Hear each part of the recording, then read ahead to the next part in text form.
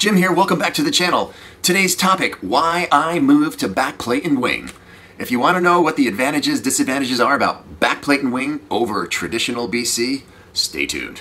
As many of you might know by now, I am a backplate and wing diver, and I'm going to tell you a little bit about why. My first one was a Black Diamond BC. As maybe many of you, I didn't know a lot about BCs when I was first coming up the line.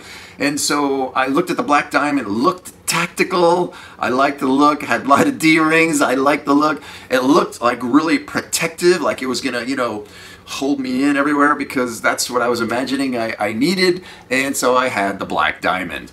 And I can't remember how long I had the Black Diamond. It wasn't long. And what happened was my taste was moving more towards something, wow, maybe I had it a year, I think. I sold it on eBay. And what I was feeling was, gosh, I feel really encumbered and bulky. So I want to move in a direction of, of less.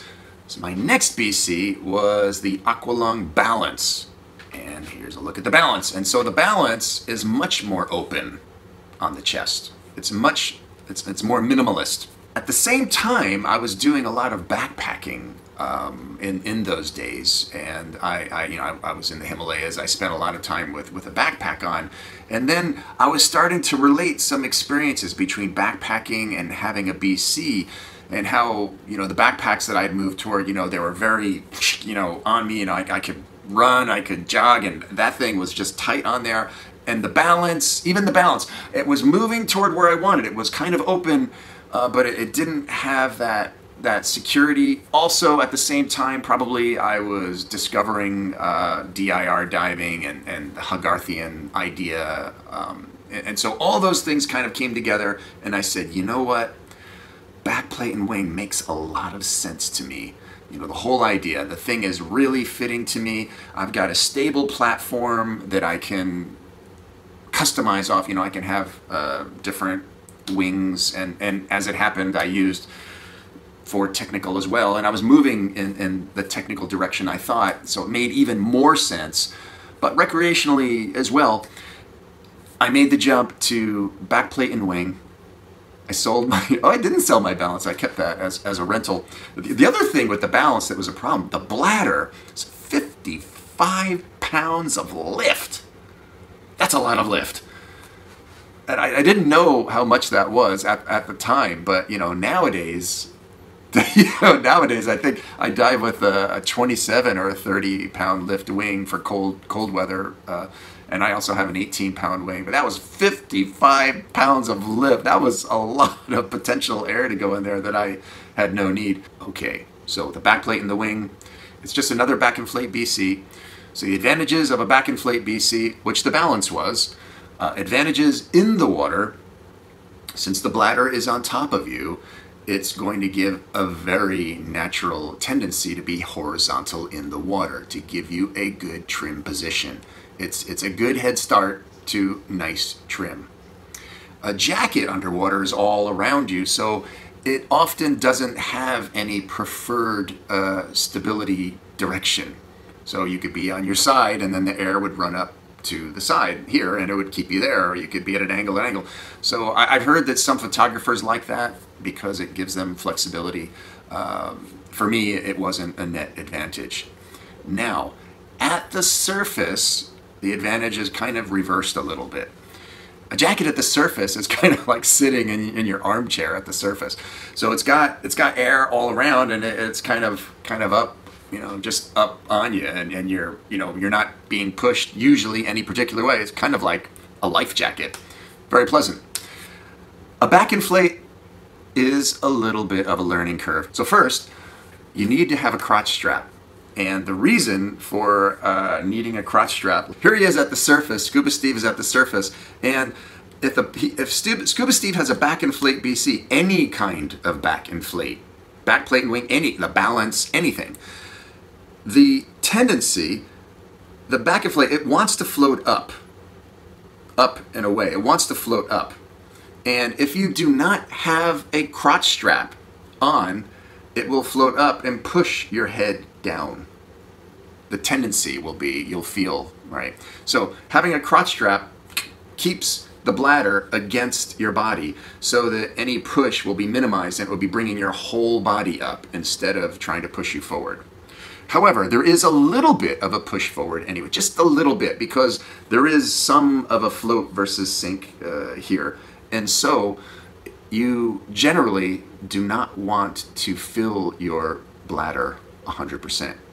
Maybe, I don't know, you'll have to find the, the balance, but uh, maybe it's 75, maybe it's 80, something like that. Because if it's 100%, it might, it might push you a bit. The other thing you want to do is you want to lean back slightly onto the bladder. So uh, maybe a 75%, 80% fill, lean back. You know, now I'm very comfortable.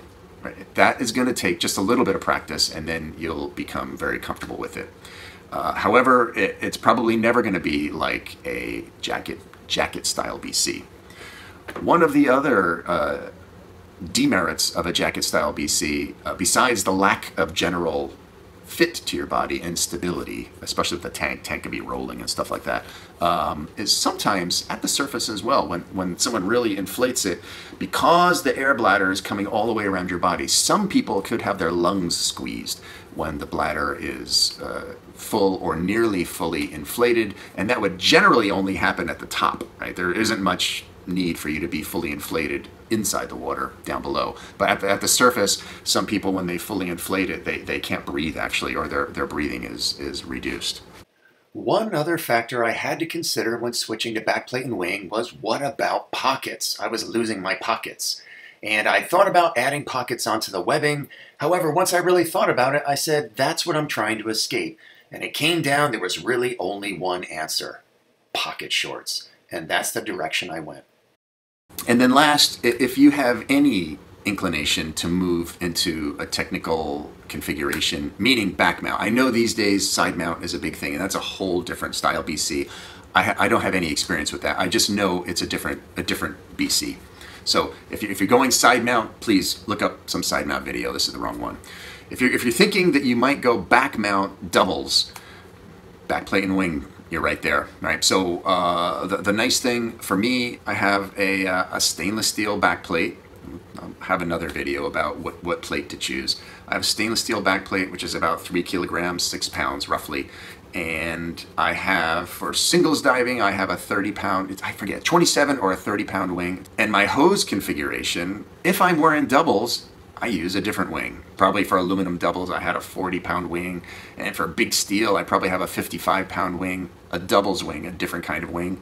But from my front, all the hoses come exactly the same. If I were just looking forward and I didn't, I, if someone was holding the weight so I couldn't feel how, how heavy the, the tanks were on my back, if I were just looking at the hoses and the front of my BC, I would have no idea, maybe, of whether I was singles or doubles. And that you want that. Because that's that means all the time you're you're that you're just practicing the same skills with the same hose configuration. It's always the same feel. So it's not like you have to learn a skill set for doubles and you have to you know you have a different skill set for singles. You're always diving the same configuration.